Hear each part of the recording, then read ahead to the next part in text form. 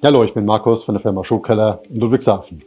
Ich bekomme oftmals die Frage gestellt, ist mein Wanderschuh noch zu reparieren? Lässt er sich neu besohlen? Wann rentiert sich das? Und wie sieht es mit den Kosten aus?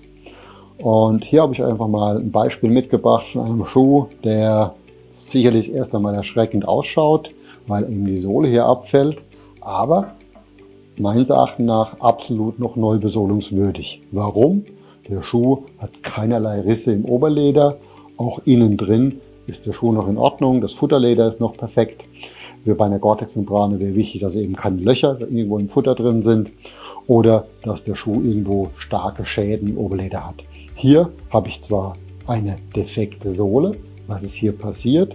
Ein Schuh, der über acht, neun Jahre alt ist, ähm, unterliegt einem Hydrolyseprozess. Das heißt, die Zwischensohle hier lösen sich die Weichmacher mit der Zeit eben raus und die Sohle fängt eben an, sich aufzulösen. Ihr könnt das ganz gut vor der Tour feststellen, indem ihr einfach mit dem Fingernagel mal in die Zwischensohle rein greift, rein drückt und wenn der Fingernagel sofort wieder verschwindet, also der Abdruck verschwindet, dann kann man davon ausgehen, dass das Material noch gut ist. Bleibt ein Abdruck stehen, sollte man mal genau hinterfragen, wie alt das der Schuh ist und ob nicht irgendwo eine Neubesohlung vielleicht doch fällig ist, bevor er auf Tour geht und der Schuh sieht eben so aus. Also immer mal so nach ein paar Jahren sich die Schuhe anschauen, wie äh, sehen sie denn aus und ähm, muss ich sie vielleicht mal instand setzen lassen.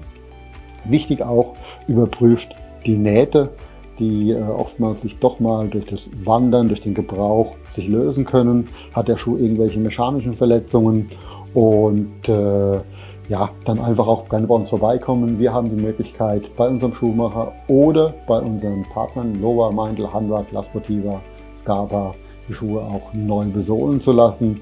Und die Neubesohlung ist eigentlich mehr eine Generalüberholung. Das heißt Profil, Zwischensohle, Schalenrand, Schnürbänder, Fußbretter werden im Regelfall dann komplett erneuert, sodass ihr wieder einen neuen Schuh habt und könnt wieder in die Berge gehen und könnt wieder wandern.